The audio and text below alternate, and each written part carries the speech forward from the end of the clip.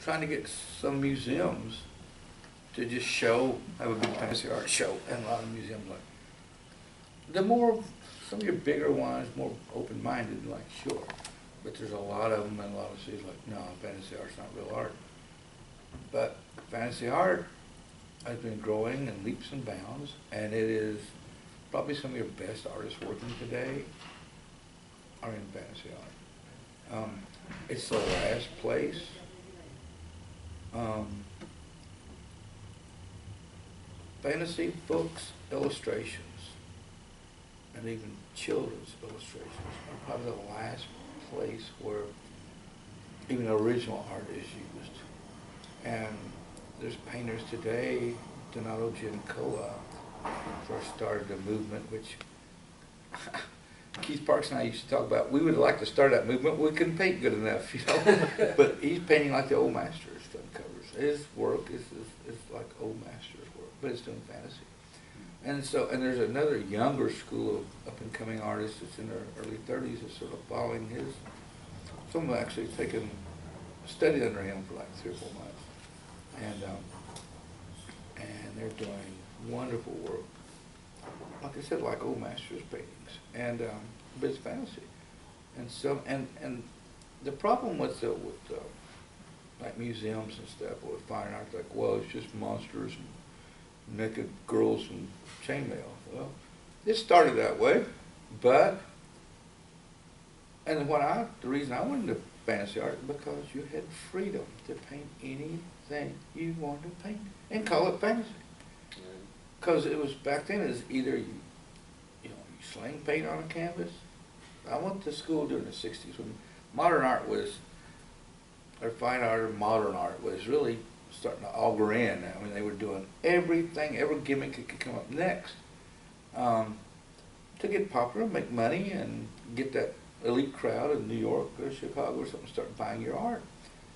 And, um, I mean, they would take, they'd get a big canvas, primer it, paint it white, sand it down, paint it white again, and get the thinnest layer of white paint. There's nothing on it, and that was their art. And it was like nothingness. And um, and you sell that philosophy, and these paintings sell for a hundred thousand dollars of nothing. And uh, it got that bad, it got ridiculous. But I was like, well, well, what can I paint? And then the other school, if you went realistic or representational, first of all, our teachers would call you a cheap commercial illustrator. They always put that cheap in there, cheap commercial illustrator. And therefore you shouldn't do that. And then the other way was, what about N.C. Wyeth and, and um, a few others is painting, well, there are exceptions. Um, there's a few exceptions, you know. I'm like, well, I mean, I love, uh, not N.C. Wyeth, um, the latest, um, it would have been NC's son, Andrew Wyeth. And they didn't talk about NC Wyeth until I found him later, which is uh, Wyeth's father, which did the Treasure Island illustrations when they come out, these great bold paintings. And, Right. and I liked him much more. He had adventure and power in his work. And he almost committed suicide. He got very depressed when he was living, as the elite art crowd would not accept him as an artist. You were a cheap commercial illustrator. But, and I thought, well, if I want to make my living doing art, I've only one route to go, that's been illustrator. Because it's either that or you started that trying to supposedly express yourself in some form, and, but the kicker, the, the reality is, it's, it's like politics, which they don't want to say that. And I was very naive in college too. I thought, you know, all the law is lawful, um, all politicians are godly, uh, you know, and all this stuff. I was pretty naive. And uh, of course, I was growing up in the '60s, and you start to see a lot of things coming out. Now, blacks are being treated horribly. I didn't know that. I grew up in rural Kentucky. We didn't have five blacks in the county. I didn't know they was treated badly. You know. Right. And um, so just a lot of things was come on like, and it was like you could spend your life doing whatever you did abstractly, but if a certain social crowd in a city, like in Louisville, that's a good example. I know Louisville. If the Browns, Miss Brown, likes your art, your paintings around the Louisville area can go for 40, 50, 60,000, same as Nashville. Certain family names, if they buy your art, you're in. If they don't, if they say, I don't like your stuff, you will never sell it. Wow. And it's, it's sort of regulated that way. It's sad, but it's the truth. So I thought, I started seeing this happen and talking to, to people and, and even in college, I said, well, look, Frazetta came out with his first Conan covers that blew my socks off. So I want to do this kind of art. I'd already been trying to do Vikings and stuff, starting from before I ever seen Frazetta's stuff. It's um, it was adventure. Uh, when my dad worked, we had to go to the boss's office one day. I was I got rode the school bus there. I think he was going to take me home, so I went with him up to my, the boss's office. He was from New York, and he owned the store. He started in Earlingtown, Leitchfield. And up the stairwell, there was a big original oil painting of a Viking longship at sea. I saw that, I just froze. You know, I asked my dad, I said, what kind of ship is that? He said, a Viking ship. I said, well, who's the Vikings? He said, well, I'll tell you in the car when we go home. well, it wouldn't go off my mind, so Yeah. we was going home, I went on, so he told me what he knew about Vikings. They were, like, they raided and plundered, and I'm like, wow, that's adventure. I mean, my whole life was about adventure. Mm-hmm. And so I tried to memorize what that ship looked like, and I sneaked up to his office another time to take another look. Or just up the stairwell, I didn't have to go to his office. So I could try to memorize what that ship was. I was drawing long ships. Didn't have a clue what a Viking looked like. And, um, and so I was drawing that. It was adventure. It was of the past.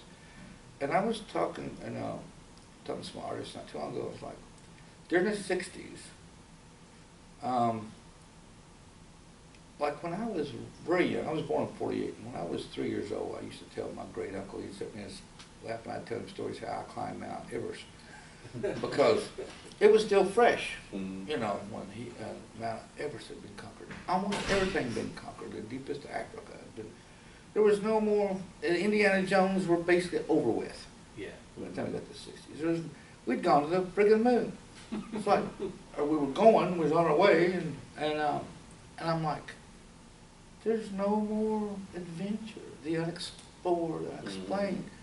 And there was that longing, and there was a whole generation of young men mainly, that, and like Frazetta just nailed it for us. I mean, I don't know if he knew what Vikings or barbarians looked like. He might just made it up, sort of, in some of those paintings. But they just sparked something.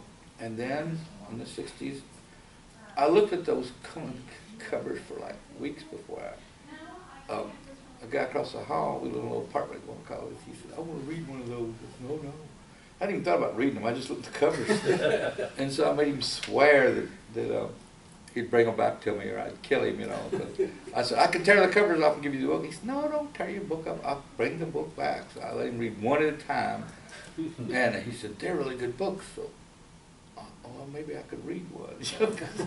So I read, it's so visual, so I read the book, like, oh my God, these are great, this is adventure, this is it, this is what I dream of doing. Because all my life, I grew up playing in the woods and swinging from grapevines and exploring cliffs, climbing cliffs, no ropes, just, I often said, I knew mom and dad's gonna find a little skeleton hanging on the side of a bluff because I couldn't, I stuck and never get down, couldn't go up, just, eventually, after about an hour, you figure out a way down or you're just gonna die. You had to. And, uh, but it was adventure. There was no more adventure. And the only other adventure people I saw in real life were, I think that's why I got street rods and motorcycles. Was you had the motorcycles, the, the wild ones that coming out of the movies, and, and uh, motorcycle guys. They looked like the last barbarians, you know. and um, they were different. They were outlaws. And then hot rodders, they were outlaws. I was like, well, they there's adventure there. So I got interested in that stuff. That thrilled me, but I had no money as a kid to see it. So it was, um, uh, and I had a longing. There's like something inside of me is pulling me in a direction. And who am I? Where did I come from? And uh, mom, dad could tell you, you know, your quarter blood is Scottish, English, and a little bit of German thrown in, and on the other side it was um, Scotch, Irish, English, and uh, okay, well, and some German. I go, who were you know? So I, so when I got to college, I started going to the library, and I was wanting to find out who lived in Europe. Uh, and there was no history on them. I couldn't find anything. It was it would start talking about history of civilization, start with maybe the, the Greeks or the Egyptians, the Greeks and Romans, and just come on up through there. And, I, and I'm like, but they left Europe blank. And I remember seeing a turned a map in a, in a, in a history like history of civilization like that, and it showed him a map of, of Europe, and it said battle axe cultures. Oh, I just raised a hair on the back. battle axe culture. Who are they? And finally, I found the Celts. And I started reading everything I could about the Celts. And and when I found them, it's like I found home. It just at ease. I knew the Vikings wasn't it. I don't have any Danish blood or anything in me, and I don't know if it's even blood connected, but it was like a pulling. I knew it wasn't the Vikings. I love the Vikings, but I, it, there was that pulling, that longing was still there. And when I found the Celts, it's like I found home. So I started reading everything about the Celts, and um, basically all of Europe, and Ireland was the last Celtic stronghold, and um, uh, and I just I felt comfortable. And then finally, I, when I got out of the army, uh, course I got drafted in seventy uh, or seventy-one, seventy or something, I can't remember. Of the army, I joined a history book club, and the only thing I I just got books on Celts, Vikings, and um, a couple other little cultures, but I just I read the Celtic book over and over, and there was some little drawings in there a little bit, maybe taken from some of their artwork. Still didn't give you a good idea what they looked like. And about that time, National Geographic came out with something on Celts, first time they ever published it about Celtic. And uh, some, they showed some his, you know, museum pieces, and I got an idea of maybe how they were dressed. And I'm like, well, that wasn't as cool as the way Frazetta painted them. I'll mix the two, you know. Yeah. And uh, most of the Celt structures were wooden. Uh, I wanted to do big castles, and I knew the castles weren't made by the Celts. Yeah. this came later. I, I just got interested in history, and um, I just started reading ancient, a lot of the history, old European history, and um, and I was really reading, studying mainly for visuals. I wasn't really, I didn't get into mythology as much and everything. And, um, I do know the Celts, what band them together was the religion of the Druid. And of course, your, your Vikings had another mythology, and, and Germany, sort of, there's some of their same mythologies. And, um, and then I started reading, got a book on Caesar's notes, and we had to invading Gaul, which is Celtic land, and uh, but he had to fight Germans. Germans basically called them like super Celts. They were taller, meaner, tougher, and what had happened is some of the old Celtic chieftains they was getting having land disputes among themselves because they were like clans, almost like American Indian clans mm-hmm. and they would, so one clan would come over and take some of their land, and they'd be fighting, so they would, they made the mistake of hiring some Germans as mercenaries to help them. Well, the Germans would help them, they'd kick butt, and then the Germans wouldn't go home, they just stayed. Well, you go home now, now, throw us out. They couldn't throw out. So when he started invading the, the Celts, like, okay, we don't like you Romans, whoever you are, but if you help us get rid of these Germans, we'll work for you. And they said, okay, so then he got into a mess fighting Germans too. They were tough. They were mm-hmm. mean. And I remember reading a thing where they were they prided themselves going through winters wearing nothing but a few skins, you know, hides. And so I'm like, God, they were tough. You know, I'd been in Germany by this time. I couldn't get in the winter. like I couldn't imagine going through the winters just a few skins and uh, furs. But um, all that just further fed the adventure side of things. And um, and fantasy was the way you could do anything. Now, fantasy today, which has evolved, now I'm glad to see it has evolved, um, you can do anything. Uh, beautiful paintings of whatever, and I don't even have to have, like, I brought some paintings of some of the latest pieces I've done. Um, and um, and they're almost not fantasy at all, but they're still fantasy. It's just it's evolved, which is a good thing, and, and you see it getting better and better now. Fantasy art. I mean, when Frazetta's one of his paintings sold for a million, it broke the million dollar. that did something right there when he broke that million dollar mark. So that, that helped give another stamp of validity to fantasy art. And if you go back to pre-Raphaelites, they were doing fantasy. A lot of this, really, if you look through history, classical stuff, they were doing fantasy. They were doing, um, these were Christian artists doing mythological figures of other cultures. That was fantasy art, if you look that way. And they were accepted. And, uh, but it, it came to when we, um, as modern artists, if you did something that was mythological or or had a dragon, which is a mythological creature from all cultures, it was wrong. It's just you can't do that. That's not art.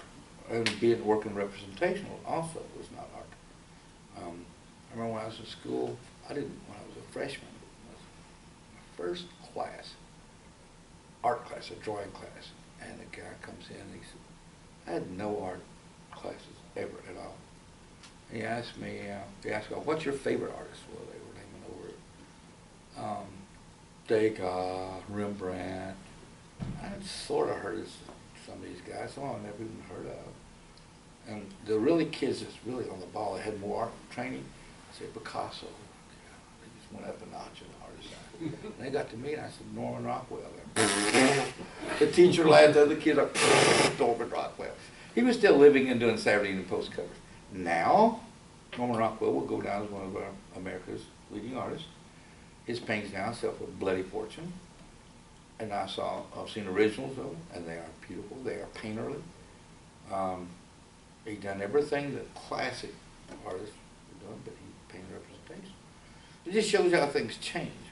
And I know at that time the Rockefellers were, were one of the leading collectors of modern art. And they were paying these humongous prices. I remember seeing like a, a garbage can turned over with garbage spilled out. That was the art. And they'd buy it. And I know enough after, it was in the early nineties, the Rockefellers decided to sell some of this art, they needed more room or whatever. And the stuff they had paid, you know, two hundred and fifty thousand, three hundred thousand for, they couldn't sell it. I'm like, well, why? You know, this is hard. Well, it's garbage. You know, it's, there's nothing really there. You know, it's uh, you keep it. You know, and uh, so uh, like I said, they finally drove modern art, you might say, into the ground in the late 60s and early 70s. And because um, really it was the philosophy of the art, it wasn't the art itself. And so anything representational was bad. If you look at art that was done, representational art, it was done in the late 1800s, early 1900s. It's probably at its peak of painterly, but realistic um, representation, I'll use that word, I using realistic because it's broken down many ways, but beautiful paintings with color and texture and everything, which I'd still like to paint like. That's what I'm wanting to do now. After all these years as an illustrator, you get locked into your own work, and you keep learning, but when you try to, uh, to apply that, then it, painters, I don't look like you. They want to see what, what looks like me. And so you don't get the, a chance really to explore much. I always admired Jeff Jones. He was come out about doing book covers at the same time Frazetta was doing his first book covers of Conan and stuff, but he was doing fantasy art. And Jeff Jones actually just quit doing covers, quit doing illustration because his art itself, he wanted to explore his art more than, and I don't think he was married Of course, you could live in any place if you was by yourself and painting. Um, didn't have children and stuff. So he pushed his own art and quit doing covers. Admire him for doing that. With me, on the other hand, I, I wanted a family, I wanted kids, and trying to bring them up normal. I didn't want them to run around in an old hippie van all their life, grow up. We got a house and a home and everything, so that means I had to crank out the artwork. And that means I had to illustrate. I illustrated everything I could and uh, never got to experiment much. What little changing I could do. I got into more realistic colors in the late 80s and early 90s, and I started painting a little darker. Not darker like evil, but just my colors were getting a little bit better. I was, I've been painting so bright because TSR wanted stuff to jump off the bookshelf. A lot of things wanted your colors bright, so this piece stood out along the other book covers. Oh. So I was trying to get more back to original covers, colors. And a couple of publishers tell me like, yeah, you need to be brighter again, you're painting too, too dark. So I had to go back the way I'd been painting.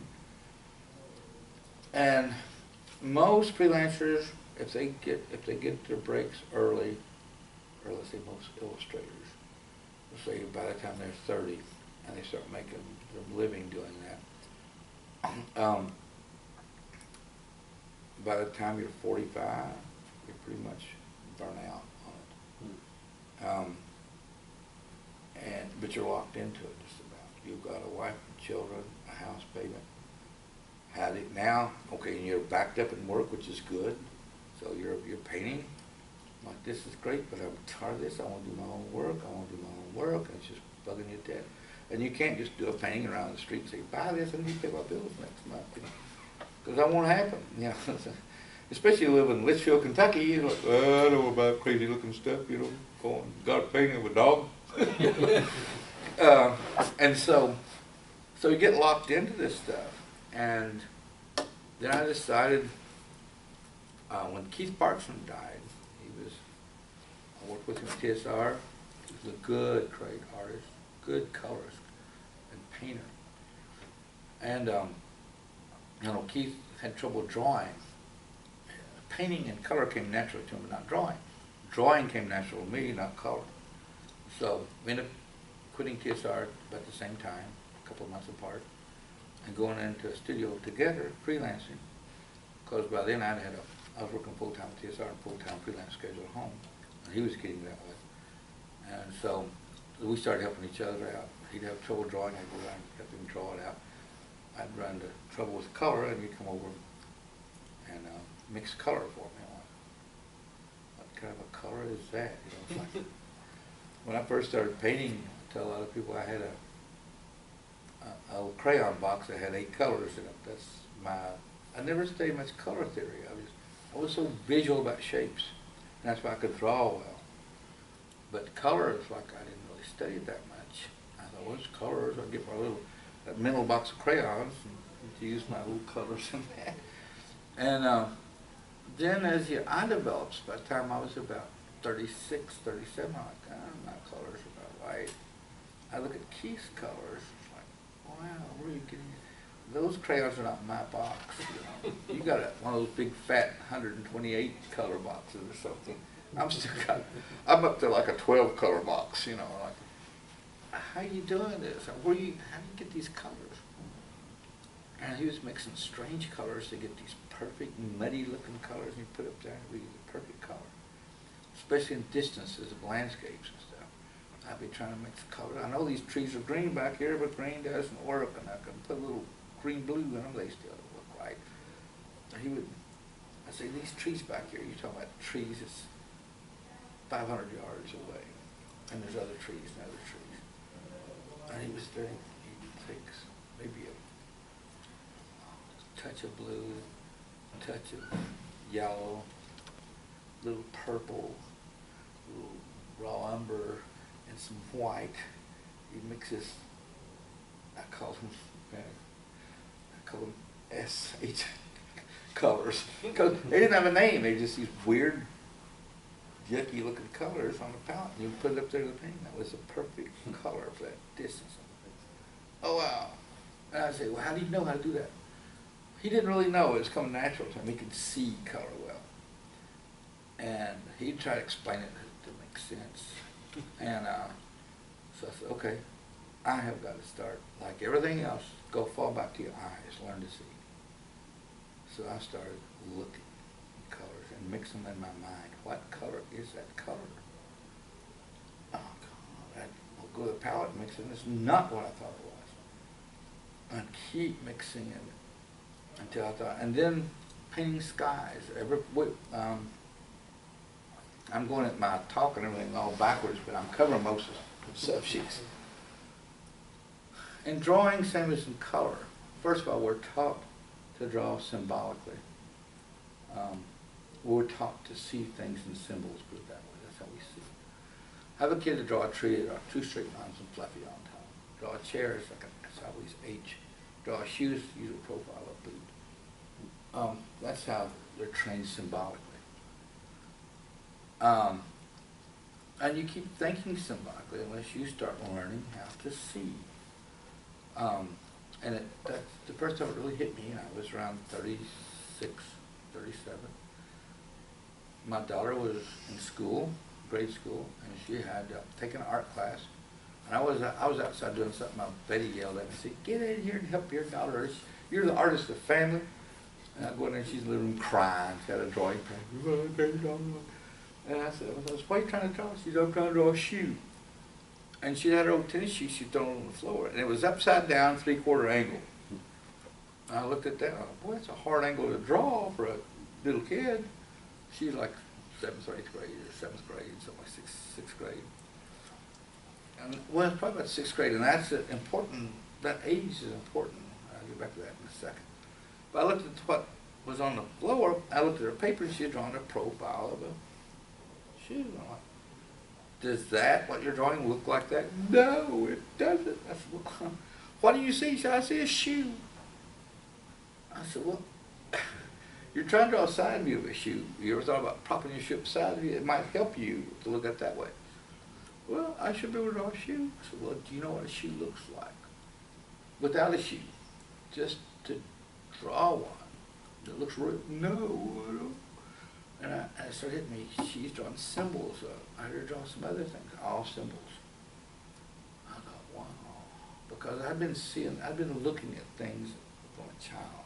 I remember I'd get close to a tree and look at the bark pattern and try to remember those patterns. I'd look at leaf patterns and try to remember patterns. So my, I didn't know it, but I was, I'd stopped thinking symbolically and started to to see. And so teaching you how to see. I thought, man, that's, and uh, it started hitting me. Uh, and in color, learning to see color because we're trained symbolically in color. Grass is green, sky is blue, clouds are white. But to, to have a pure blue sky with pure white clouds is extremely rare. Um, grass is all kinds of colors. Trees are all shades of everything. And then it depends on the distance it is from you. All the colors are constantly changing. The time of day, the season, everything changes. And so then I started to look at that and started memorizing that stuff. And um, it's like I'll tell lots of people like this room, the color of this wall is sort of a what off whitish greenish looking color.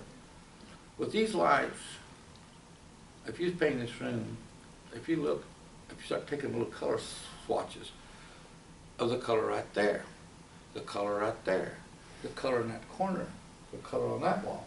If you have all these color swatches, they're all different colors. I mean, they're all different shades and values of this color. Only time you'll see what this real color is, take it outside in the sunshine, and you'll see the real color. So, you know, the colors are all variable by your light source, everything else. So learn to actually see that color, the color in that corner up close to the ceiling. It gets a duller, uh, actually there's a little bit of, if I was mixing that, I would have this base color here, I'd mix up. I'd probably add a touch of raw umber and a touch of purple. And, uh, and I remember asking Tim Hildebrandt one time, what's your favorite color on your palette? He said purple. That's crazy pur purple is your, he says, my most, one of my most important colors. I didn't even put purple on my palette, you know. If I do purple, I'd mix some blue and red and get some purple going. And uh, I kept thinking about that. Then when Keith in the steel would start mixing a color for me, I started seeing total purple. Like, purple is a color that you can add a little bit of purple to green uh, a little bit of purple to orange or yellow. Um, you start thinking complements again. I mean, they'll tell you in art class, you, you got your primary colors, secondary colors, you know, complementary colors, opposites. But purple can knock the value of a color down without changing the, the honesty of the color. They're like, you got orange. Okay, I want it orange, but I don't want it bright orange. I want to go down, well, you mix black with orange, which a lot of the first, first timers will do. Okay, I'm putting a shadow in orange. That, that orange, you put the black in, just goes dead. It's like a dead man orange, okay? It just, it just kills it. And, uh, but if you add a touch of purple to it, it'll take that orange and bring it down a value, give it like a shadow, but it's still orange. Keeps the integrity of the color there, but brings it down a bit.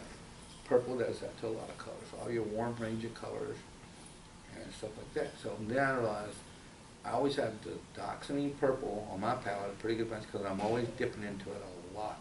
It's one of my most important colors. I don't paint a lot of purple things, but it's a very important color and not the intensity of another color down without, and still keeping the purity of that color, the integrity of the color. So you start learning colors, you start learning to see, and then distances, and how things will, will gray down and fade down. And they will, the distant colors changes the atmosphere and the location of the sun, and sometimes almost the season, will, will give you the, are different, you know. It change, it's moody, you know. And by learning these, you do create mood.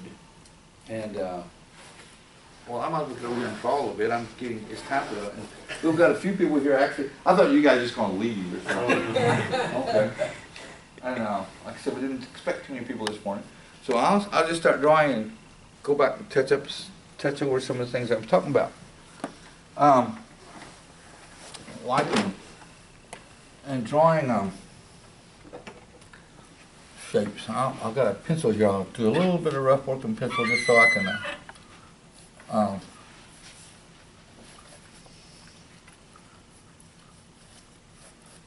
just get an idea what I'm doing so don't. Okay, most kids, and I refer to kids because they're honest and not polluted, drawing a tree and they will usually start out, most kids draw the old straight, two straight marks, fluffy on top, you know, that's about it. Okay. Then if they got a pencil or something, or drawing a little bit better, they'll try to add a little bit more shape to the tree, you know. And again, it's fluffy. And shading with the pencil, they'll try to do some shading. Doing things in black and white. I love pure black and pure white. It breaks the shapes in the simplest form. There's no in-between tones. It's just black and white, the only thing you want to work with. And when you're doing serious pen and ink drawings, um, your black and your white, I that's all you got. Okay? Pure black, pure white. So, shadows, and, and also when you draw shapes, if there is light to see that shape, then you're drawing shadows to show that shape. You're always drawing shadows. Now in color it's different. You're adding the light and the color, but but it's still yet you're working with darks and light, shadow. Turn all the lights on, off, you see nothing. You don't see shape. You turn the lights on or a light on. That lights up the object you're going to draw, and what you're drawing is shadows. So I draw a tree, and from drawing this tree here, um, and I'm drawing this because all my life I've looked at trees and studying shapes and shadows. So I'm going to do some kind of rough looking old tree here. Now, that's the trunk of the tree. And let's say our light source is coming from here someplace. So I'll, I want to get this, and I, and also, there's so many things to think of at once. It's hard to talk about. It's hard to know where to start. But um, like on you see little, art books and stuff, how to draw, and they start breaking things down to basic shapes, circles, or like uh, squares, rectangles. I mean, like boxes, cones, uh, cylinders, and stuff. And I'm like, I don't even want to that. That's just, you don't draw that way, but you do, in a way. I don't necessarily draw them so much, but I think about them. And um, so a tree is basically a cylinder with a light source to light it up. And I was sitting here talking, about put this shadow too heavy while I was talking, when see what I'm doing. So I'm gonna add in some shadow just to uh, give the shape of this tree.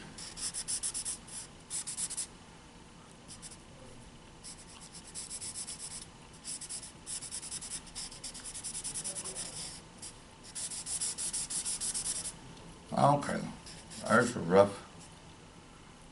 Then we're gonna start adding a little, and like bark and bark patterns, like I said, I've studied bark and bark patterns my whole life as a kid, just how, and um, everything, everything is broken down to patterns. There's repetition, whatever looks random to you is not random. it, there is a type of randomness in things but it breaks into patterns, breaks into repetitious patterns, and they, but everything that you can think of, like trees and leaves, breaks down into patterns. And, and as you start seeing these patterns develop, then you can draw, like especially a, an illustrator and a fantasy illustrator, you might have to draw a summer scene or paint a summer painting in the middle of winter, so you can't go out and look at the trees or you know, you've got to know in your head. And back when I was doing it, like today with computer arts, it was different, but when we was doing it, there was no quick fix. You either had to know it in your head and to be able to pull it out right there and paint and draw from what you know in your mind, or you'd have to start finding reference and you spend three days getting your reference together and, and then half your deadline or something, or 30 year deadline's gone by. So you had to jump in on it, start drawing it, start painting it as quick as you could. So I had to turn out a, an oil painting in about two weeks from nothing to a finished painting. And that's, those were not eight hour days, those were 12, 14, 16 hour days and weekends. And uh, do about two a month to make a living. You know. And I found out that most illustrators at that time about two weeks of painting. And, and then you can look at the illustrator lots of times to see what kind of quality he did. We all do it in about two weeks. Some are a lot better, some are a lot sloppier. You know, like, he's a better painter than I am. His painting looks better in about the same amount of time. So, and then you get most of the time what what really messes uh, kids up or young artists on drawing trees is getting into the leaves. And remember, I'll do another example of this in a minute, especially in pen and ink, less is more. Don't over do it. This is pretty quick and pretty random. I'm still trying to follow a bit of a bark pattern.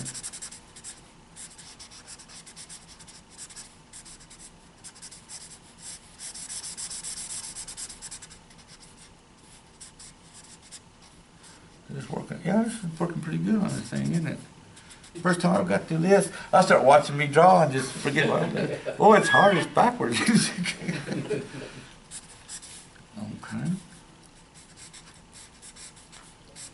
So you can get this going pretty quick, pretty easy. But the big problem are the leaves.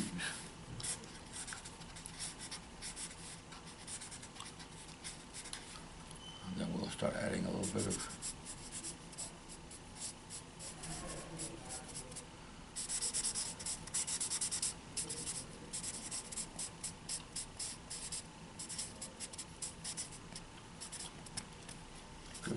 foundation here.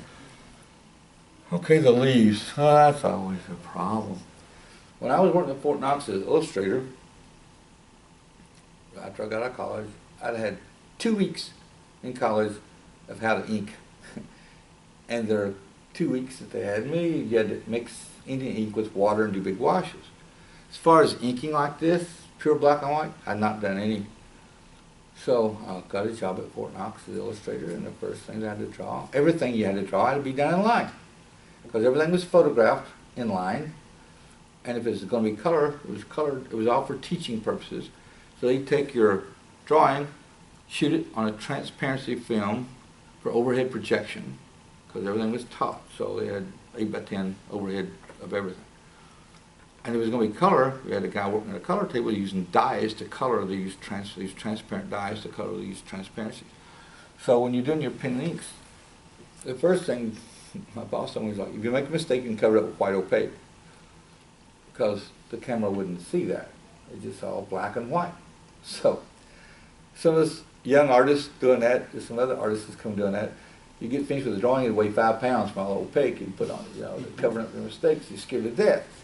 But the more you did it, the more you relaxed and you just quit making mistakes. It's just like typing. If you're on an old time typewriter and you're trying to type a letter without making a mistake, because if you did, you use whiteout to cover it, it's hard, it's scary. When you're typing on a computer, you get to be faster and faster and faster. Why? Because you can correct any mistake. So you get more confident in it. Same as doing inks. So let's say you get this shape going here now, it's those leaves. What in the world do you do with leaves? That scares me. Okay, break it down into patterns. I've looked at trees my whole life. Look at trees on a bright sunny day. Without seeing the colors, look at the patterns of the leaves. And it all breaks down where these patterns run is how the tree's broken up with limbs inside. We know how trees grow. A trunk, a big limb, a little limb shoots off. The light coming from the sun will create shadows. So I'm going to be drawing this shadow. Okay? Let me see if I can get a bigger pen to roughen it in first. I'm working with giant markers. I'll do this just to break out some shadows here.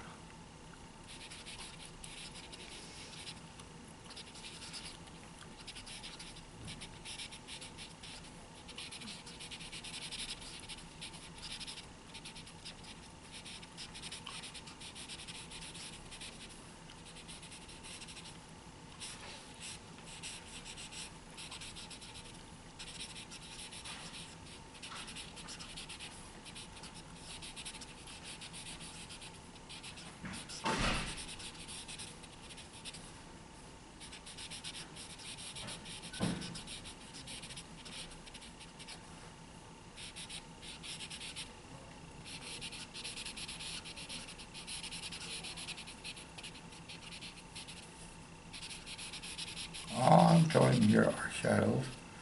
You can and break them up more and more in a second. How should I do that?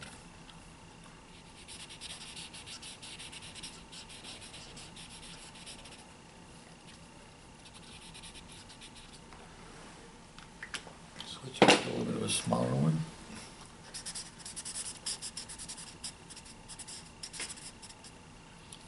And then, when you work with a pen ink, like I said, right now everything is solid white or solid black. It's always going to be that way, but there's very few lines. These are more shadow lines. Lines, like your, let's see, black and white is like your,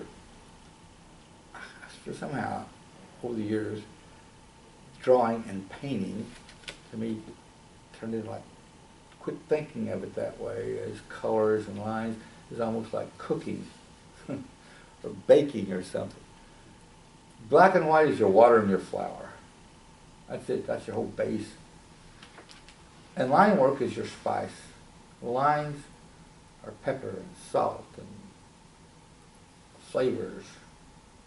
So that to me, I see that more and more in, in color work than I do in ink work. So it's like your black and white is your base. Use that for your composition. Use that for your weight and your balance. Line is your spice it should be used sparingly. Uh, uh, an inexperienced inker will ink two ways. I've got some heated arguments over people that does this. but I say, you haven't learned enough yet. They will do ink drawings by dots, using the pointillism approach, and they dot themselves to death. And they're trying to get all the gray values like a drawing. And why don't you just draw in pencil? I mean, you're dotting yourself to death. And the other one is using a lot of lines, trying to catch all the values with lines. And what happens?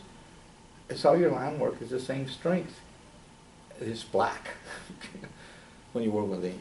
Pencil, you can do a lot because you can, you can adjust the weight of your, your, your pressure or get different layers, get darker lines and lighter lines. And ink, all you have is black, a thicker black line or a thinner black line, that's it. So you just got a little bit of spices to work with to build your, your little, let's see, we're gonna bake bread here, to your bread to give it any flavor at all. Uh, like I said, black is your foundation and white is, it's lighter, but it's just as important as black. So your lines are important.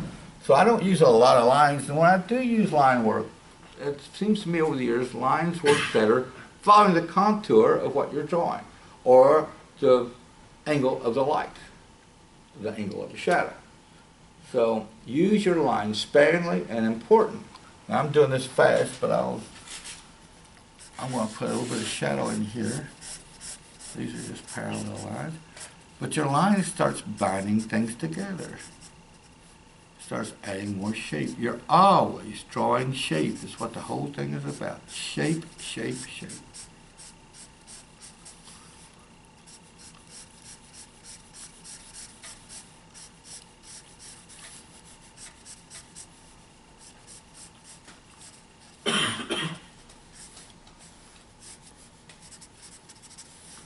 And that's enough right there. I'll keep, I'll come back in and start breaking these leaves up a little more.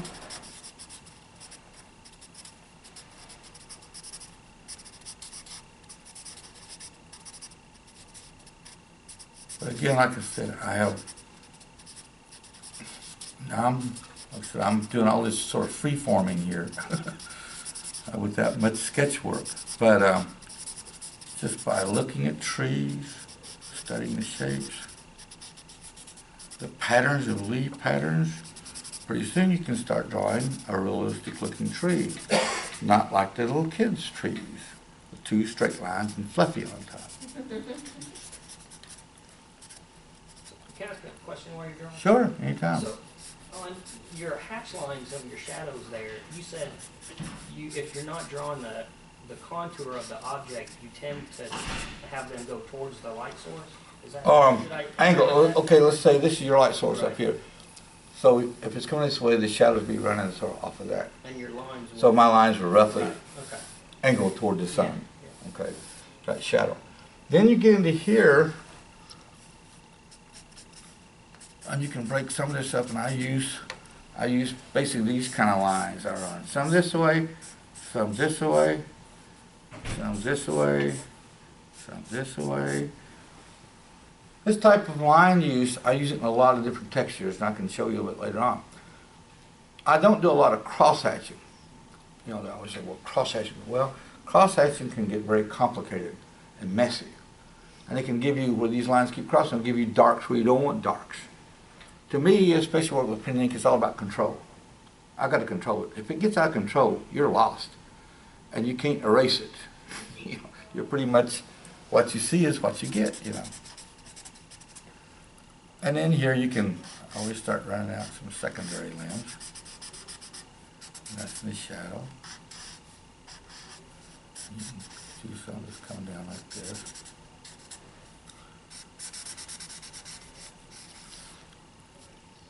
You can also, let's see, we'll put a big limb come in here.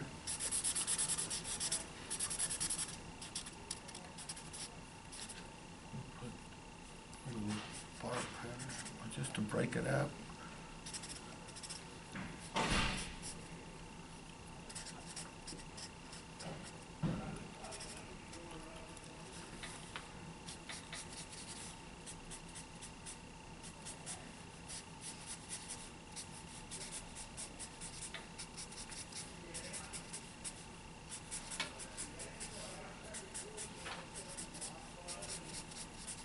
Now, when I was working at Fort Knox, like I said, as an illustrator, we was illustrating helicopters, tanks and stuff, and they would say, we need three M68 ones out here in the field, helicopter flying over. You had to do vast landscapes in pen and ink.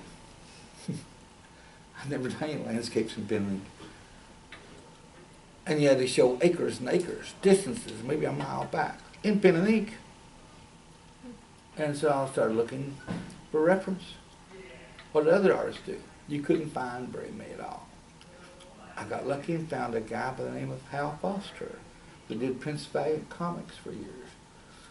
He did great landscapes. And he did it in black and white. He didn't have much color work. A lot of the early comics and strips didn't have color on them, so you could see the purity of the lines. I started learning from him. And then there's a book, magazines out, Creepy Eerie and Vampirella magazine. These are all horror or fantasy-based books again.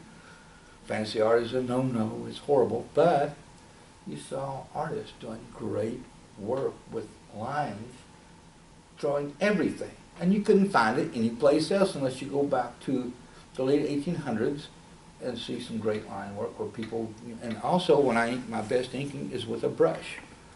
Um, it's hard now to find good brushes to ink with because they don't make brushes as well as they used to. They'll cut down on, I don't want to get started on that, we'll do an hour lecture on how keeping the products, even gesso. A new artist going to paint right now in oils, let's see, a young artist, I want to paint in oil, so he goes out and buys some mechanic gesso, and gesso is this border of canvas. And he gets his oil paints, he spent, you know, three hundred dollars getting ready, and he does it all by the numbers, and he takes his first, mixes medium up, and, which is just linseed oil and thinner, okay? There's no big magic formula to all this, they can make it magical, but that's linseed oil and thinner. And, um, and I use a little bit of dryer to, to speed it up. But my linseed oil mixed with some dryer and a little thinner is my medium. Thinner is just thinner to clean your brush with, that's it. But you take that first stroke, you mix up your color, you pull a stroke, and, and you go about an inch and a half, and then there's nothing left. The gesso didn't do its job. It's supposed to seal the board. It didn't do it. So all the oil in your paint soaked into the gesso. Now you're pulling pigment across this dry board like dirt. And you can't even blend it. You can't like, well, boy, oil paint's hard to paint with, and they quit. No, it's not. Gesso, they'll make it cheaper. And I was at this art store going to buy some gesso because I went through about three cans, them away. Primed the board, had a deadline to make. First brush stroke, I had my drawing transfer on the board. I got, you know, every day counts. Pull the first brush stroke, like, oh my God, you know, what is going on? So the first can, I threw a whole gallon of gesso away because it must be bad, gone bad, you know, bad batch. I'll go buy another different brand. Same thing happens. And so after I go three or four brands, I, I luckily got some brand that worked like gesso, and I got a gallon of that stuff, so it lasted me quite a while. Used it up, went out to buy some more, and this goes on for a two, three year period of time. I'm having horrible problems. When the, when the, when the painting did that, the only thing I knew what to do, I couldn't go back and re-transfer a drawing or waste more time, so I would just put a light coat of oils on everything. That would saturate and soak in enough to where I'd just do washes like or, or glazes, like. But it took time for that to dry, which I didn't have. So I'd use heat lights to hurry and dry the thing. And um, before I could even start painting, so I was wasting a day, a day and a half before I could even start painting. And um, so I was at the art store. I was bitching about gesso, and this little girl waiting on me. I had brushes older than she was. And she said, well, I'm sorry, Sarah, you're just buying cheap gesso. I said, cheap gesso's gesso. I've been painting for 40 years, and it's, it's always been gesso. It does the same thing. Well, you're just buying cheap. She's just getting cocky, and I was getting mad. and this um, black lady behind me, about, she's a little bit younger than me, she said, sir, sir. I said, what? She said, I know your problem. I said, you know, what's the problem? She said, it's not your buying cheap gesso. They started making it cheap. And she said, it's not working like it used to. Get Liquitex. I know that works. So I bought me a gallon of Liquitex and went home, and it worked like gesso was supposed to work, like it had been for all my life.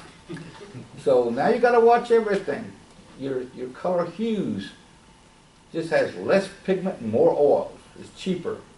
You can buy cobalt blue hue, and it'll cost you twelve dollars. Co- buy cobalt blue, not a hue, it'll cost you twenty-eight dollars. You know. The difference is there's not much pigment. All oil paint in it, all oil paint is, is a blob of oil, like linseed oil, with little paint pigments in it. Okay? That's it. The paint pigments are your color. The less pigments, the, the weaker the color is. You know. So we'll let these people come. We've, we've got some people here. Are you uh, high school or college? It's high school. I can't tell anymore. Everybody looks so grown up. When I was in school, we all looked like kids.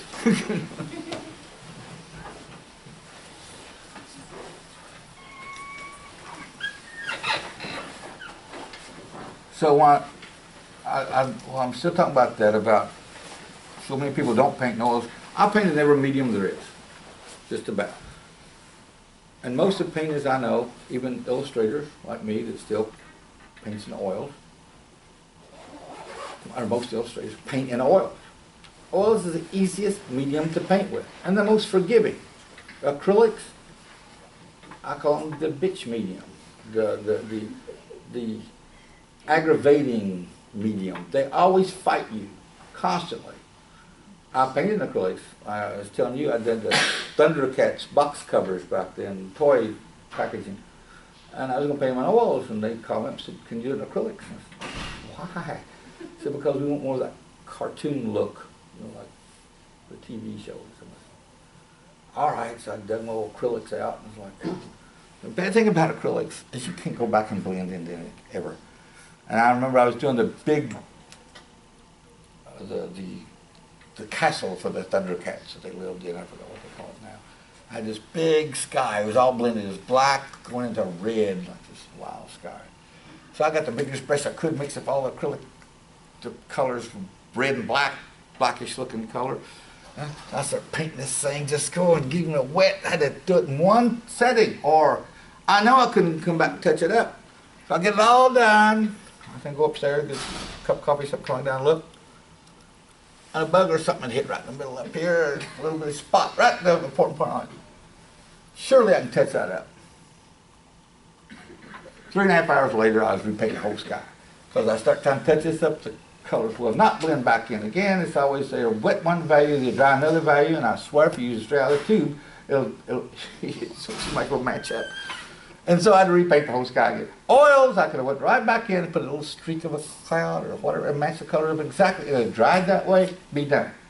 That's just one of the problems. But acrylic's always fighting you. Oils will always work with you, and they just seem to make big mysteries of oil, and they got all these things to mix with your oil paints, pre-made mediums and stuff. Like I said, oil paint is a blob of oil with pigment in it. Okay, that's it. Thinner go get artist thinner, odorless artist thinner, whatever. Little. I used to. They used turpentine, but it's stinker a while, so for days. My kids actually say they miss the smell of turpentine. It reminds them of home, you know. so I finally went to uh, odorless, but um, thinner dissolves everything. It dissolves the pigment, it dissolves the oil. It's to clean your brush with, like when you change from one color to another. Dip it in thinner.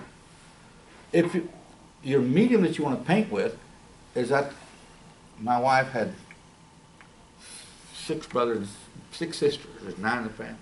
I had all the sisters when I started having families say their baby food jars, the old glass baby food jars. So if they had enough kids, and I had enough baby food jars to last my whole career. I just got them in boxes. So I take two baby food jars. One I just pour thinner in. Thinner dissolves my paint.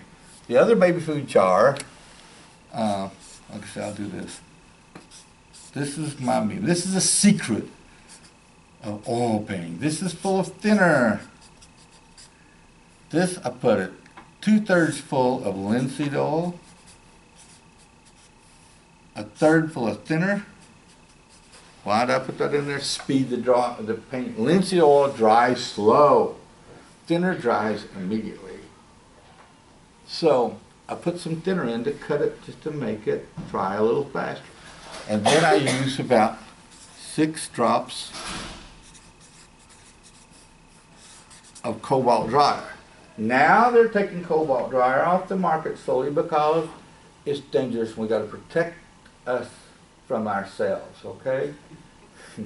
cobalt dryer is very poison. Uh, but you don't sit around licking your brushes or drinking cobalt dryer.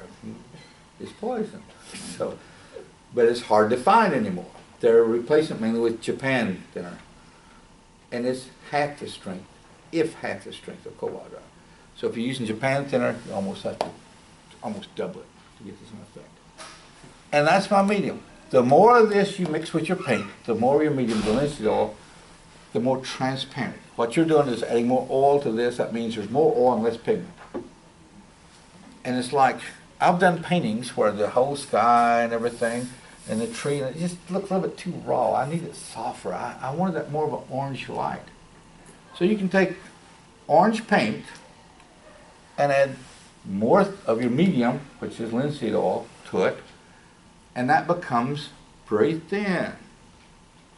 You're stretching your paint out. I get a big brush, I'm mixing up a puddle of it, you know. Take a big wide brush and just paint that over the whole friggin' painting. And it looks horrible, but then you take another big wide dry brush, clean brush, and you just drag it over it. And I just wipe it off on paper towel every time I drag the brush over it. And what you did, you put a transparent layer of orange over the whole thing. It's just like adding a, a film, you know, plastic film and covering. That's what it does. And so now everything's warm, tied in with the same warmth of the sky. It's that warm light cast over everything, and it just bonds the painting together. I do a lot of glazing. Also, if you need fog in a low place and the color back in here and some hills and you know light them up, just mix some blue white or blue purple white. Use some thinner, turns it into a transparent glaze. Take your brush, just paint right over it, man. Then come back with a thinner brush, or with a dry brush, I mean, and it picks up the residue, just leaves it thin, and you've got fog or something back in there, soften the area. All this is done like this with oil paints. You can't do it with acrylics hardly, or any other medium. But all oils is brilliant, and you can go back in twenty-five years later and touch it up tell you. I've done it.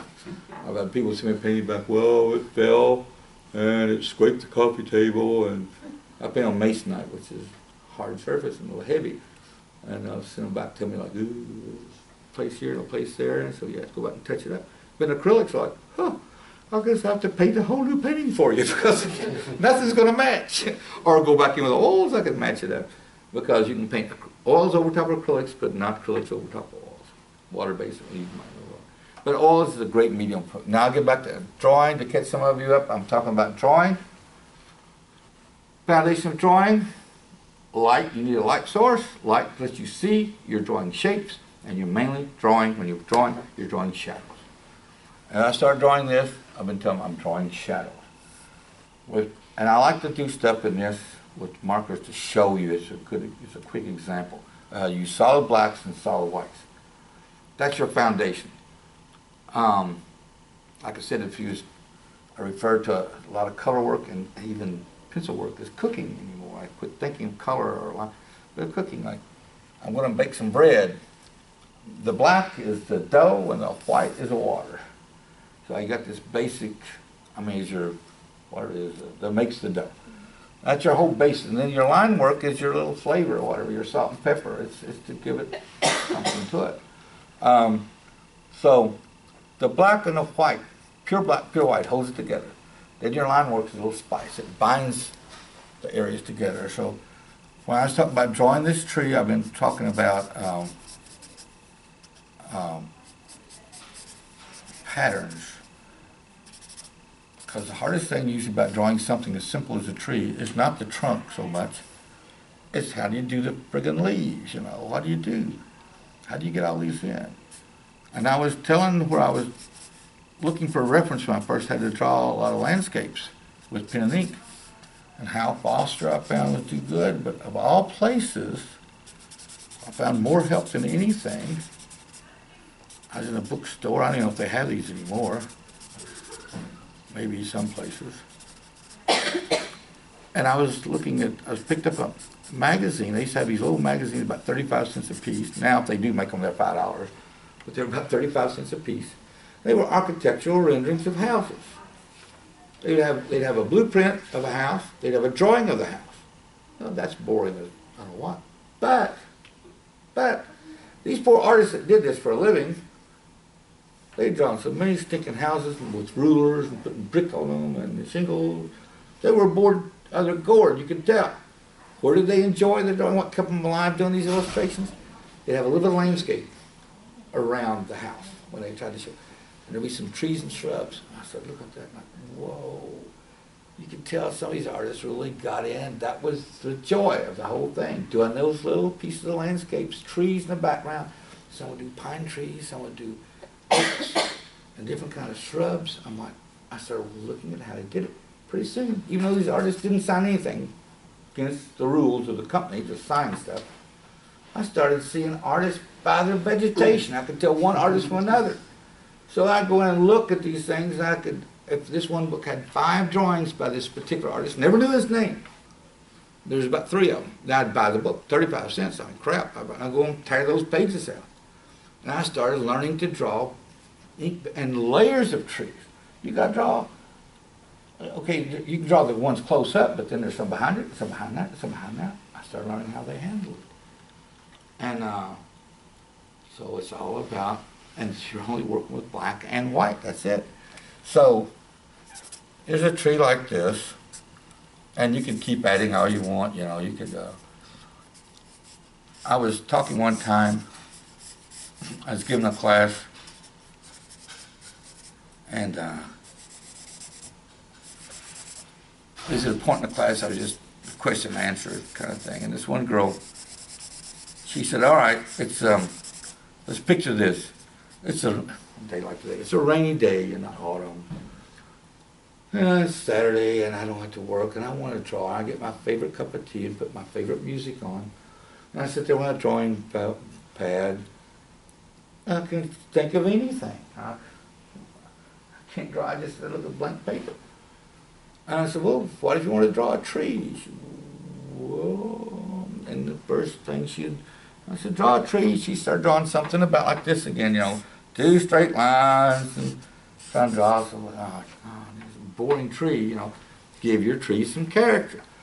So I started talking about this. I said, see, why do you do it? I said, okay, I go into my mind, I'm old school, this is before computers, so I had a file library with little drawers and little cards like they used to have. That's what's in my brain. I go back to the, my little library and I, I go to trees and I open a little drawer and I put a little card like trees, oak trees, willow trees, you know, maple trees, pine trees, cedar trees. It's all in my memory. Like, okay, let's do like an oak tree. So I start drawing an oak tree. And let's say I get something going on. Okay, now I think I want a rock behind it, you know. So I do a rock behind it or here on the side and big ledge. And I'm like, oh wow. So pretty and, and same with doing the rock. Um, I would go into my little library and in my mind and look up rocks. I'm gonna do some shrubbery here a little bit. And um, I start drawing a. And you just keep adding to it. Like in this one, let's say you want a row of trees behind here. And this will give you a little idea how to handle some of these like distance of trees.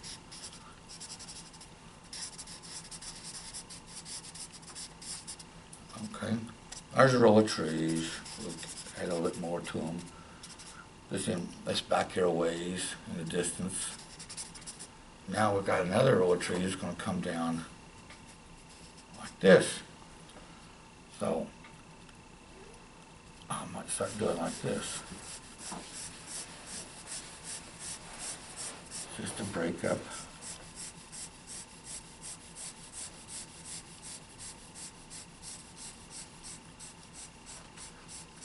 Now I would, drawing this very realistically in ink, I would make sure some of these lines were not all, I want to break this up so it's not so rounded off, I'd make some higher and lower.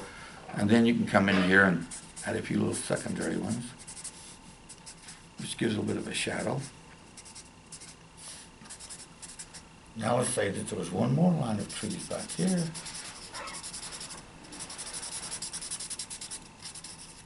And you can do them um, pure black.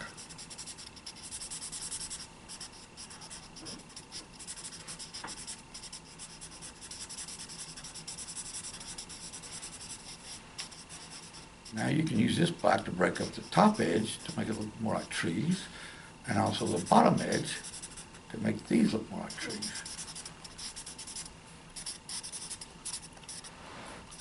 And then you can also put in another layer way back here.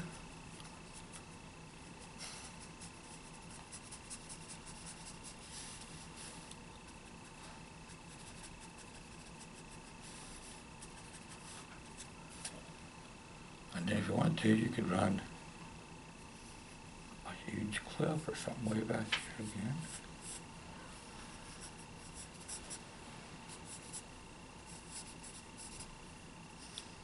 Trees coming in behind it.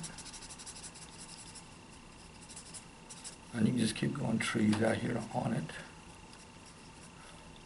Another row coming in here.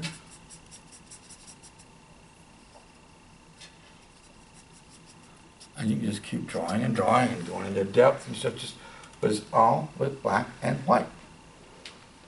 And a little bit of line. So don't over ink. Um, again, like I was, um, got a little bleed through, we'll try to not pay attention to that. Again, I'll, I'll do one little thing, talking about shadows, shape and shadows. Do Something here to get me started.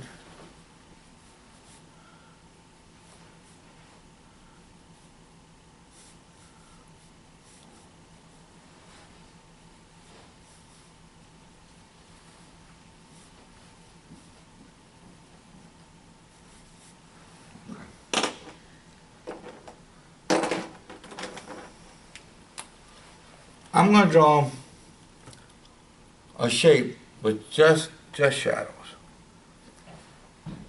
To stress how your brain feeds in the rest.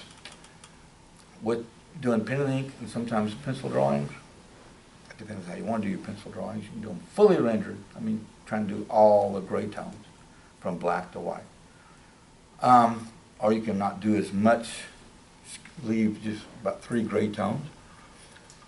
But pen and ink again, you've got black and white. But this, but like I say, especially drawing faces, even with pencil sometimes, and especially with ink, don't overdo it. The scariest things I've seen is where somebody is drawing a portrait of a baby, either in pencil and especially in ink. They try to draw all the shadows of the baby's face. Well, that looks, it looks like some kind of monster baby, like an ancient old monster baby. Mm-hmm. They try, try to catch every little shadow, especially the little, two little lines underneath the nose, and the smile, and get big lines in it. It's just like, every line you put in the face, you're making an edge, basically. Babies are smooth. It's like a face sanded down to nothing. It's just about all the smooth. You start adding line work in there, black and white, you're making big creases and wrinkles even though you're trying to get those subtle shades of the cheek and you start doing it with lines, oh, you got a mess. Less is more. Your brain will feed in the detail. You underestimate people's brain. what it what does. So I'm going to draw, try to draw this quickly. Well, these are bigger.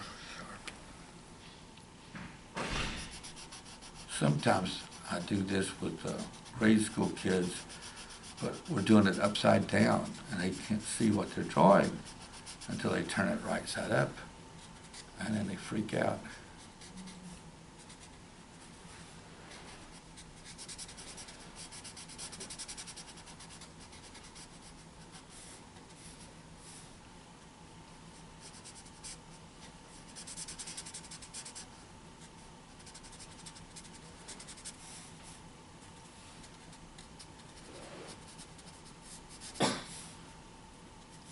Probably already see what I'm drawing.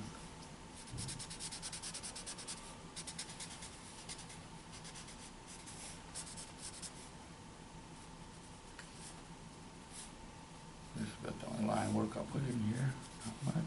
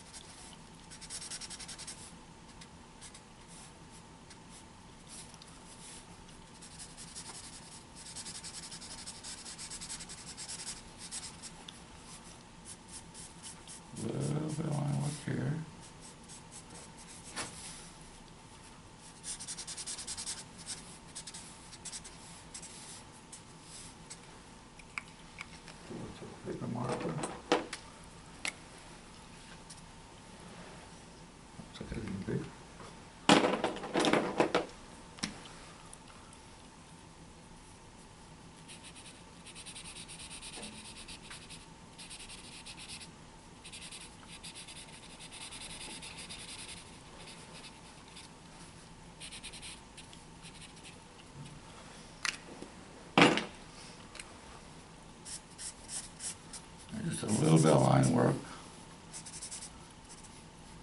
Keeping everything super high contrast.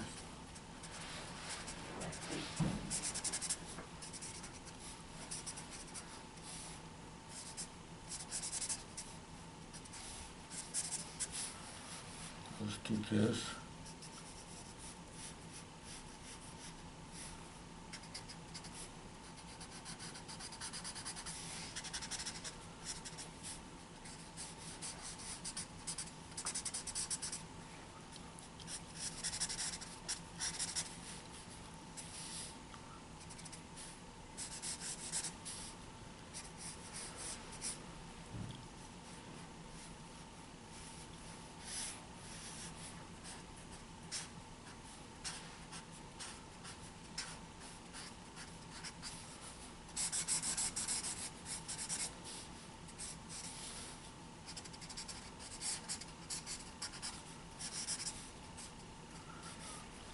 And think could actually had some orange to the helmet.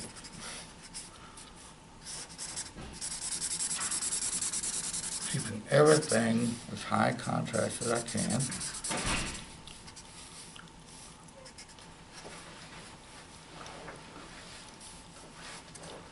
Then change texture a little bit.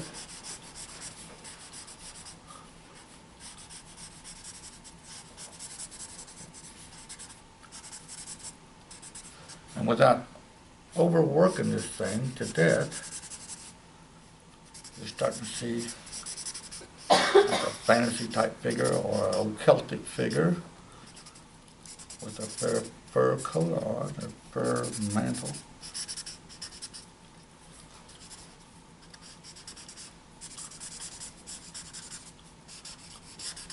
And again, talking about patterns,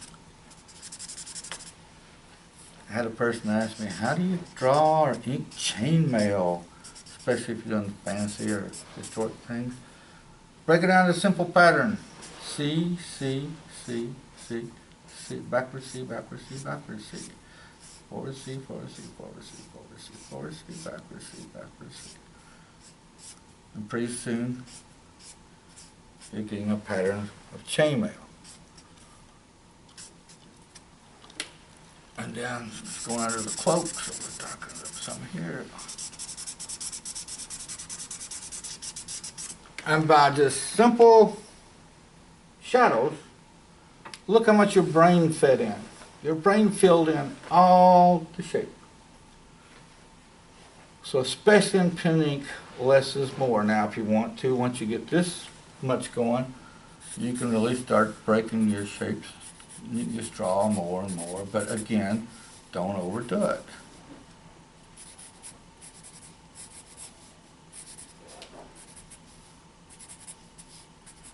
There's not a whole lot for this thing, it's high contrast, not a whole lot more you wanna do to it, really.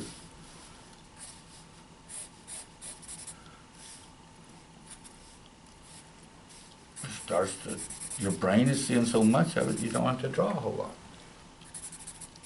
Now, this is rough and bold, but that just gives you an idea. Less is more. Um, drawn realistically, representationally, uh, first of all, for your young students that come in, if you want to go into illustration, I went into illustration for, I told earlier, the guys this here earlier, it was a direction I could go in that I could draw and paint for a living. And I liked adventure, excitement, and fantasy art was a natural because fantasy art gave me freedom, freedom to draw or paint anything I wanted to. I mean, anymore if you drew a, a, a woman under a beautiful tree holding a rose with a flowing gown or something on, it'd be called fantasy. But that's what you want to draw. You can design her robe and clothing any way you want to. It's fantasy. Um, used to, if you illustrated something, you illustrating a product. You're selling a car, you drew the car. You're selling whatever you're selling, you have to draw it. Nowadays, it's all Photoshop. Take a picture, take the Photoshop, doctor it up, do anything you want to with it, add landscape to it, there it is. Quick and simple. Put a lot of illustrators out of jobs. But when I started, the only occupation you could go into to know you could make a living as an artist was an illustrator. Children's books, game, everything, everything, advertisements was all, most of it was done by hand, a drawing, with pencils, inks, paints. Um, the computer came along, it's changed, and it's here to stay. So, learn your computer um, programs, Photoshop and all these. I don't paint with computers. Right now, I'm catering to a collector crowd. I, I was lucky enough to paint my whole career with paints, draw with pencils, ink with pens. I love it. I love doing it by hand. Uh, it all started changing in the early 2000s, well, late 90s, and by the 2005, it was all computer. And the, a lot of illustrator friends I knew that hated it had to change over and use computer art to compete, to be able to do art quicker and faster. Um, like I said, during my day, you do a complete oil painting this size, just about. Usually mine were 20 by 30. This is 24 by 36, I think, but 20 by 30 in two weeks, from beginning to end. And that's, in, that's including FedExing it to New York one, you know, next day. Um, and I, I managed to do it. I loved it. And then when it goes to computer, I don't want to do it on a computer. I don't want that. To me, that takes as long as I can do it by hand. That's the fun for me. And there's still a lot of illustrators today. They know how to do com- computer art, but they keep doing traditional art because they enjoy that challenge, doing it with your hand. And uh, and those that they do themselves, original art, collectors buy it. There is a growing, growing collector market now in all form, in all the art because less and less is done by hand. It's all done by computers. When something's done by hand, it usually has a quality or something about it. You know it's done by hand.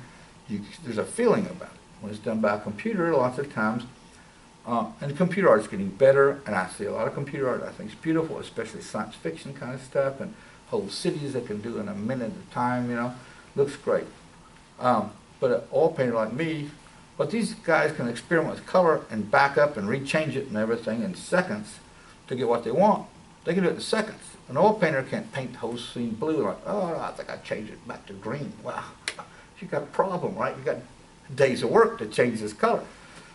But you can look at what a computer guy does, and you see his color schemes he went through, and like, wow, I don't like that color scheme. I'm gonna do mine that way, you know. I like that blue green that goes into the, everything and gives it a sort of a rustic metallic look. I think I use that. So you can see I've got some books, and I told a, a guy, he publishes books. He's from the Noma, Noma School of Design in California, one of the top in the nation. They'll let take 80 students in a year, and they don't even they don't even want if they don't even own a computer, they don't care. That's good. They don't want to see their computer skills. They want to look at their portfolios, and also judge what kind of person they are. Are they willing to work? Are they a nice person? Because these people, when they get out, most of them are your designers for, for sets, uh, for Hollywood, for movies. It's all done with Photoshop nowadays. And I've met a lot of these people, and like I said, I'm meeting this instructor, he said, it's what the artist has inside him. How well can he draw or paint? We'll teach you how to use a computer. We can't teach you how to be an artist. What that, that innate sense about you. And um, I was told, one of his books he's published um, where he's building a, a, computer painting. He had changed the color scheme three or four times. So I'm like, yeah, I can see how you did it. Now, if I'm going to paint something sort of like this, I can see all your ranges. I can pick out the one I like. and I don't have to paint mine three or four times. I don't have time. But so a lot of these guys, I use them as helpful hints, you know, because they can do things so quickly. Um, but they're, but uh, doing that original art the painting, and a lot of these guys still do it on the side, even though they're making their living doing computer-generated art. That art can um, cover your old age and everything else. It can, that art can, there people, if it's good, will collect it and buy it and pay good money for it, and that's great. And that lets you to keep, keep, um, keep your skills going in painting and drawing, and also make money to live, help make money to live. Okay, let's, let's talk about something else we'll do one more thing, talking about um, shapes again. Also, the one thing I, uh, when I started this lecture here, there was like three or four people, and we just started talking, and we said we'd go ahead and turn it into a lecture. And then more people came, so I was like, oh, this is all out of order, what I was thinking I was going to do. The basic thing too is perspective. You've got to know perspective if you're going to do anything representational. Because anything you draw is in perspective.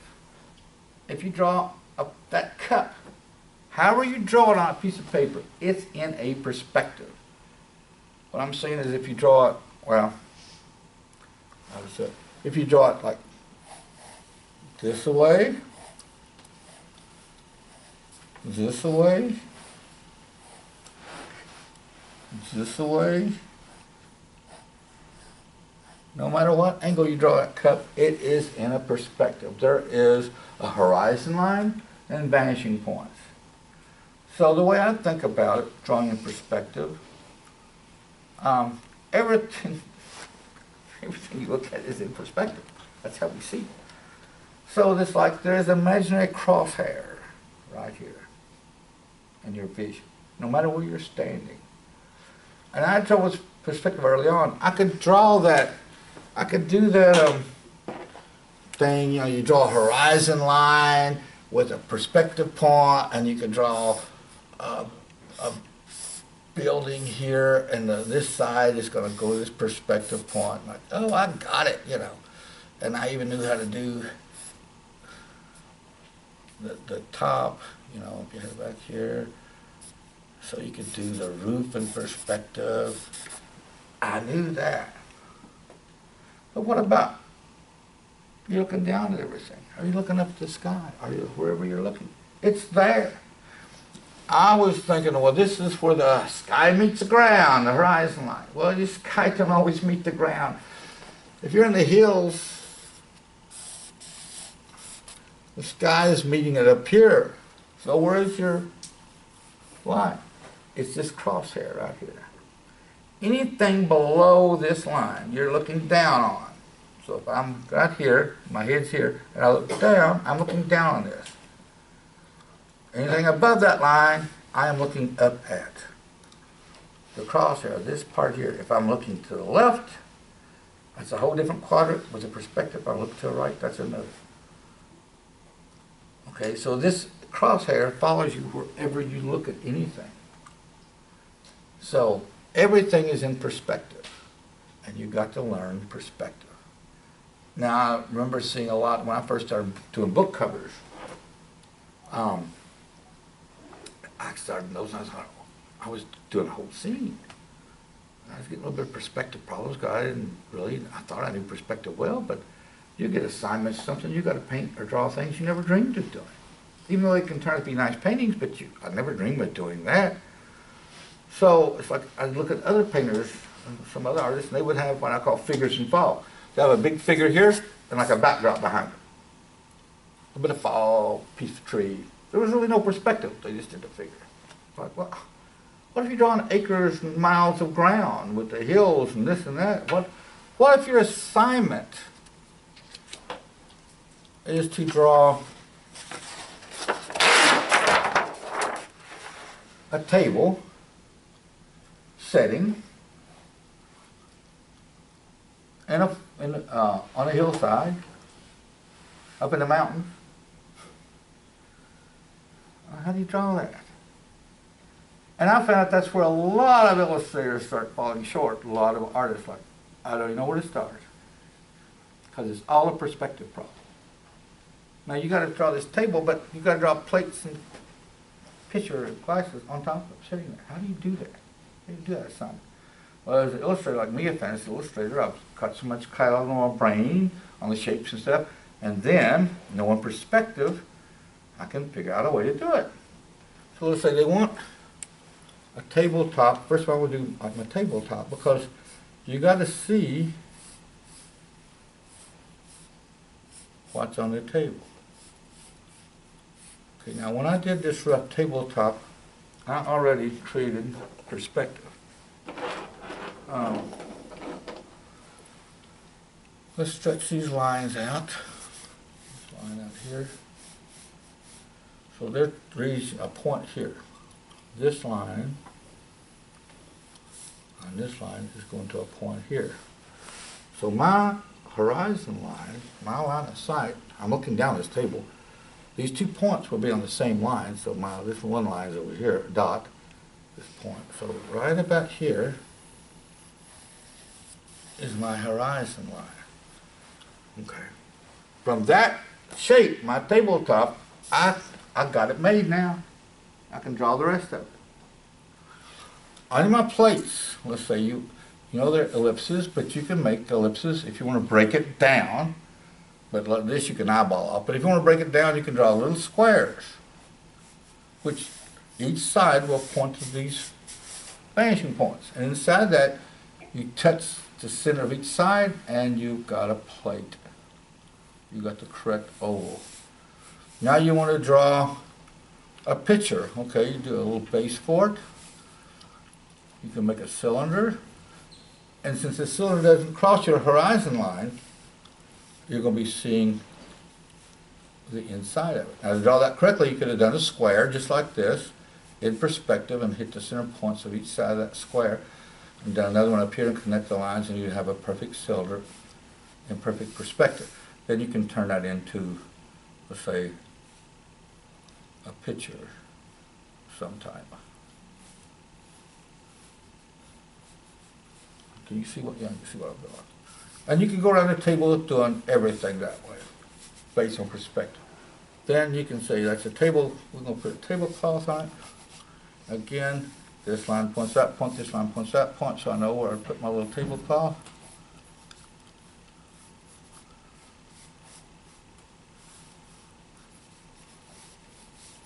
Then I can put my little legs down here if I want. So now, probably my hardest challenge in a sense is over. I can construct all this. And I can do chairs just like this, these two points, each one. Now, okay, but you said it was in the hill, up in the mountains. All right. So now I know this plane right here is on the same plane as this. So I need to make this a flat. I got my table sitting flat. That means it's sitting on a flat part of the ground. It's not on a hillside because then everything would, I could go to these same points, but I'll be tilted. And you have another set of points in a different perspective. Again, it's all, and seeing that I'm looking this side of the table, if I do something over here past this point, right here is where my crosshair is at. You know what I talk about a crosshair? There's where it's at. Because I'm drawing everything in this quadrant right now. All this is done in this little qua- quadrant between this crosshair. I don't know if this makes sense to you, but this, I think of it. So, I will bring this area up here. I will come up with, let's do a hillside that comes off of here. And this could have been done in grass, you know, all grassy. Let's say we get a light source, so we, pretty soon we got, we got a light source for shadow for the, my table. So you shadow all this out. So it makes it more three dimensional.